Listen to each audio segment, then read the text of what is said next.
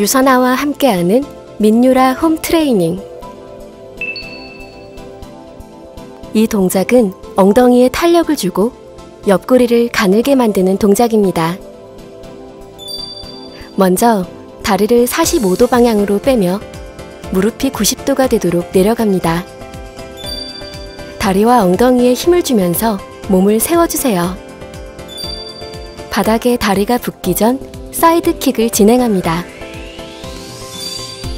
10회 반복 후 반대쪽 다리도 진행해 주세요.